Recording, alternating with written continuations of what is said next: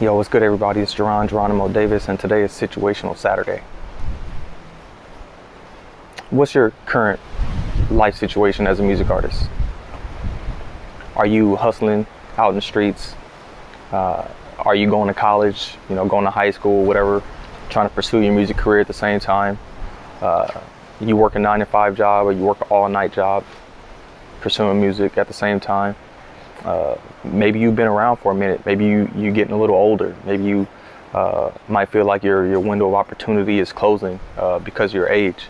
Um, all of those elements um, and and facts of life that you know that we have going on be you know frustrating, overwhelming, uh, that um, we that we want to be on.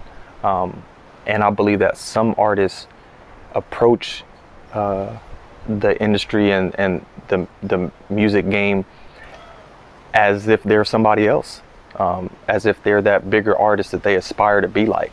Um, but everybody's path is different. Everybody's hustle is different. Everybody's opportunities are different. Everybody's current living situation is different.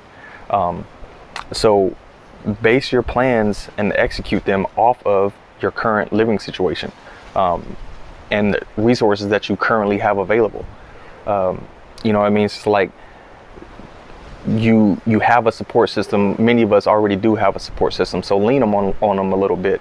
Um, get extra help. Ask for help. Ask for guidance. Um, spend money within your network. You know, with your producers, studios, uh, videographers. Um, people who have great minds and business people who may have ideas, you know, that, that can help further your career.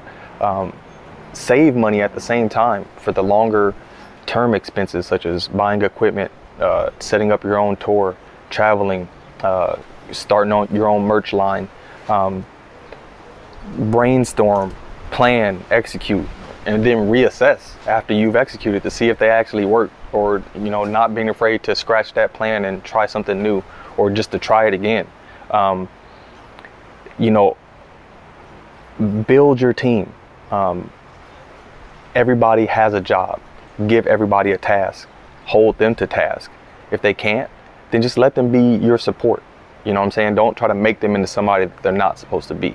Um, you know, that's that's pretty much you know my thought for today. Um, you know, hopefully, you know, you can. Some of those things may apply to you, and you can ask yourself those questions, and it might help. Um, you know, if you have any thoughts and, and comments, suggestions, just go ahead and send them back to me. Uh, hit me in a DM if you ever want to, you know, talk some music. Peace.